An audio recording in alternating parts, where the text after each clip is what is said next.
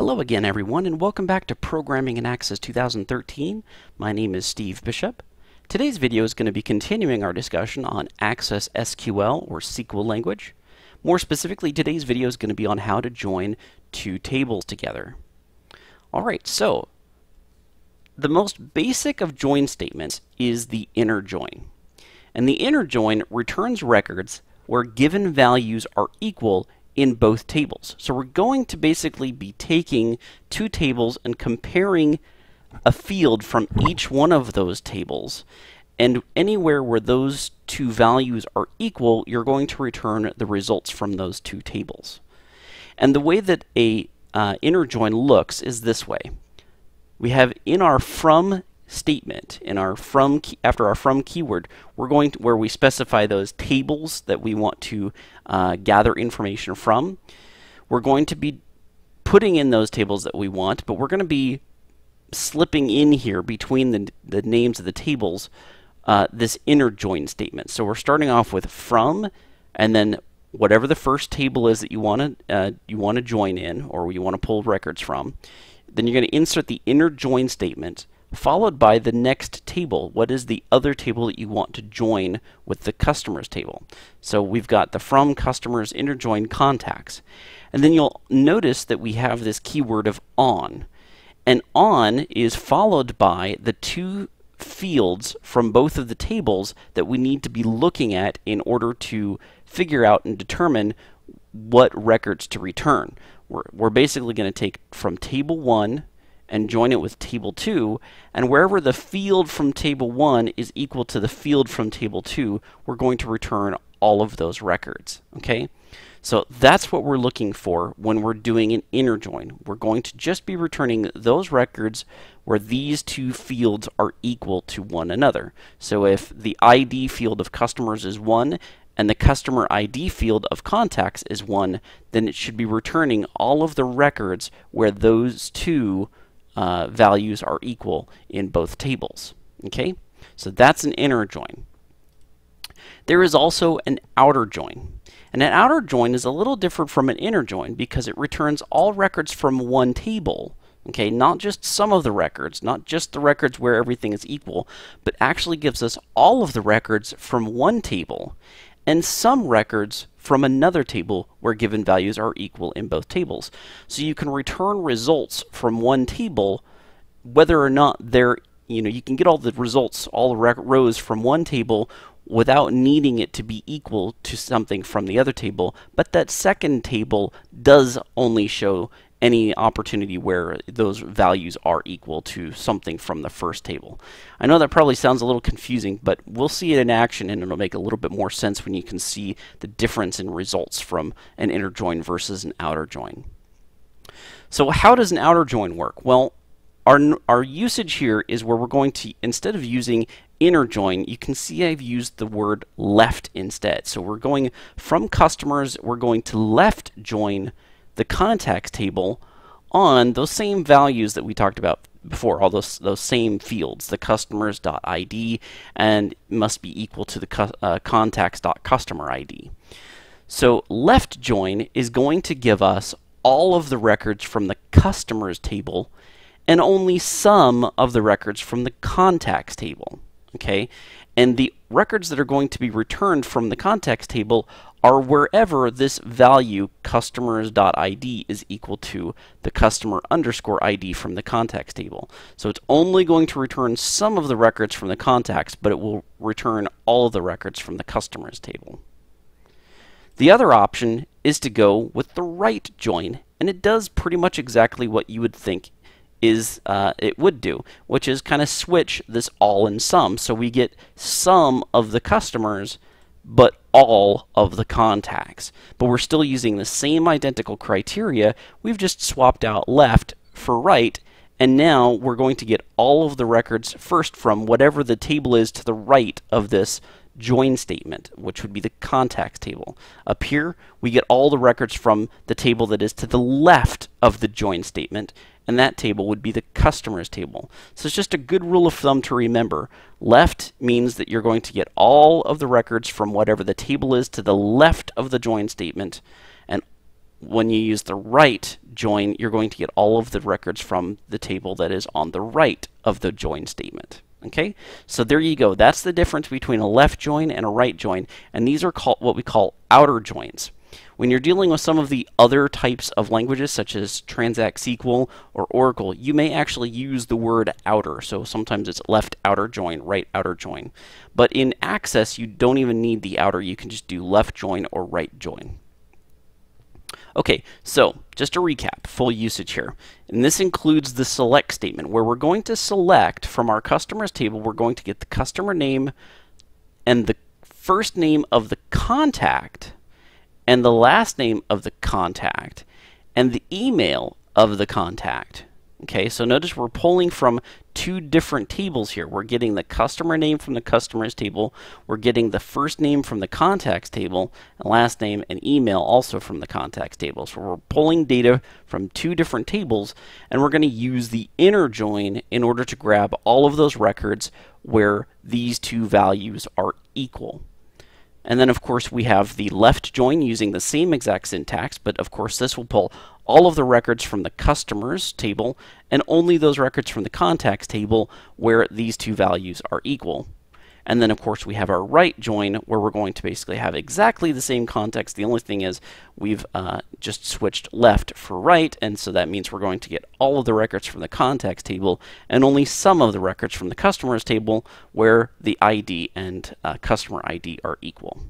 All right, I hope that makes sense to you guys. We're going to go ahead and hop out here into Access and let's see what these things look like in action. So what I'm going to go ahead and do is I'm going to go ahead and bring over a couple of tables. I'm going to bring over my contacts table and my customers table. And because we set up relationships before, it automatically assumes this relationship. And if I actually go ahead and look at the SQL behind it right now, you can see Access has already formed that join statement for me. You can see it's using left join.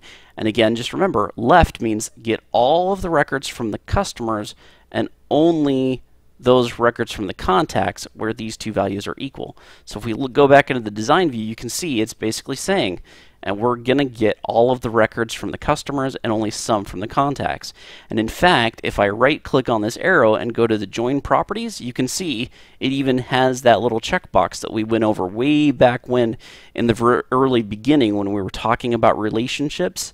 You can see it's selecting this relationship based upon what we have as the actual SQL statement.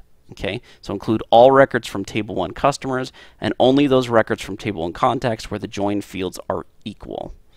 All right, so we could obviously switch that. I click OK here, and that swaps the arrow. You can see that it's changed around. And if I look at my SQL statement, you can see it now says it's a right join as opposed to left join. So it's going to use all of the contacts, it's going to return all the contacts, and only some of the customers. Okay? So uh, that's what's going on behind the scenes between the left join and right join. And of course, if we switch this to inner join, I'm just going to change that word out, and then we take a look at the design view, you'll see, uh, oh, I got to have it doesn't like me not having something there. Uh, let me just table one customers. Okay, just to get that out of the way. Now if we look at the design view, now that I've changed to inner, you can see that it is uh, not doing an arrow there, it's actually joining and giving us uh, no arrow, and it's just actually specifying that all records between these two tables uh, where those two values are equal. And again, if I hit the relationship here, oops, and take a look at the join properties, you can see only include rows where the join fields from both tables are equal. Okay, so that is the difference between left join, right join, and outer join. Let's take a look and see what the results are from this distinction. So right now I've got inner join. Let me go ahead and swap this out. I'm actually going to go ahead and go into the SQL view and I'm going to type this out. We're going to go table 1 customers. I'm going to go with customer name. And I put a comma. We're going to go contacts, oops, table one, contacts, and first name, table one contacts, last name, and table one contacts, oops, contacts, email. Okay, hopefully I didn't fat finger everything and I got it right. We take a look and we could see our results are that we get the customer name. And remember, the customer name came from the customers table here, right? And you'll see that we only get the customers from Metro Properties, Metro Properties, and another company. Okay, despite having this third company that I've called Microshell here, uh, that is a, another company that's from this table one customers table, but you'll see it doesn't show up in the results for our query. That's because if I look at the contacts, oops, I didn't want to go into the design view. I wanted to open it up. There we go. If we look at our context, we can see the customer ID field only has a 1 and a 2 in it. Says 112. But you'll see that the ID field for the customers table, there's a value of 3 for microshell. Okay, so because our contacts table only has a customer underscore ID value of 1 1 and 2, but there's no customer underscore ID value of 3 in here, it's going to leave off anybody or any mention of this microshell company.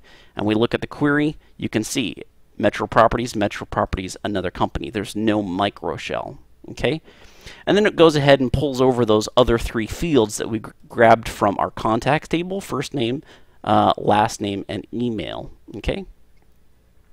So that's how that works. Now let's go ahead and go back into our query here. And I'm going to switch this out so that we're going to do just a left join. And remember, left join, once again, to reiterate, left means we're going to grab all the records from the customers and only the records from contacts where there's a value that is uh, where you know these two values over here are equal to one another. So let's see what our results are from that. Now you can see that microshell company has appeared, but we don't have any contact information. So we're getting all of the records from our customers, but we're only going to get the records from uh, our contacts list where this customer ID is equal to the ID value of the customer's table. Okay, so there you go. That's how you can get a whole list of all your cust all your customers and and still just only you know it'll leave open these are basically null values in here uh, where there's no data. It's actual absence of data. There's nothing in here. There's not even a space. It's absent of any information.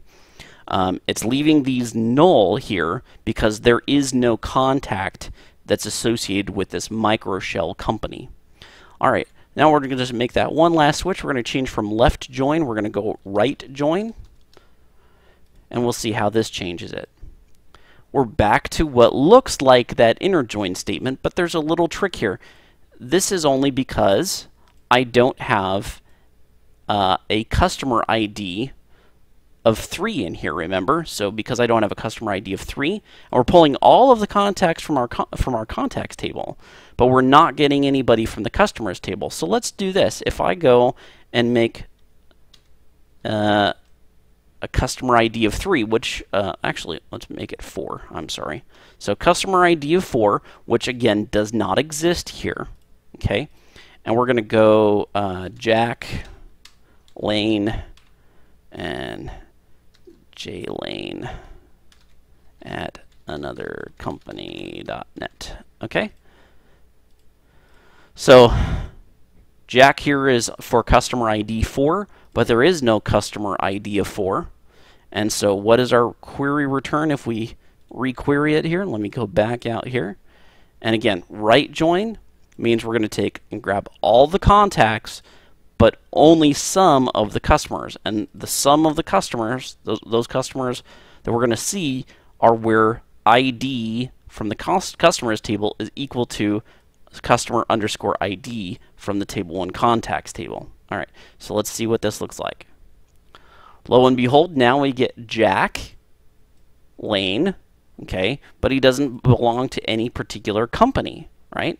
So that's the data that we're going to get as a return for using the right join statement. Okay, so there you go. There's the difference between left join, right join, inner join, uh, and we will see that this is a highly useful skill. You're going to need to be able to uh, grab information and find out how it's uh, associated with each other.